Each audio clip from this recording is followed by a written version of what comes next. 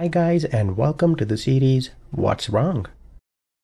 In this series I will present you with a code that is not working or not following the best practice and you need to figure out what's wrong.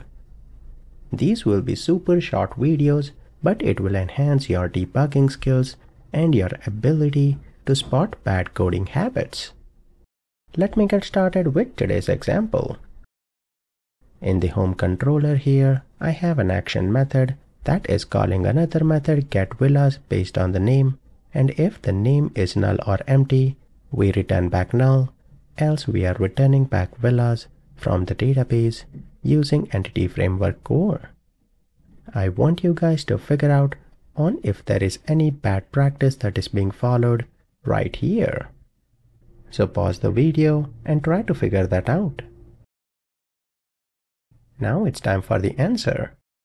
Right here what we are doing is if the name is null or empty, we are returning back null. What will happen is if I go to the view here, it expects an IEnumerable of villa. On top of that on the model we are performing some operation.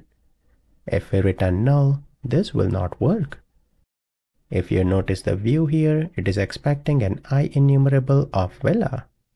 Let me go back here and open that, we have a filtered villa name and a half passed pool.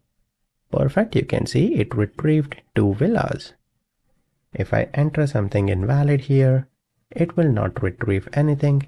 But if I enter an empty string here, we get an exception here when it is trying to access model.count. That is a common error that is encountered if you return null when we have to return a collection.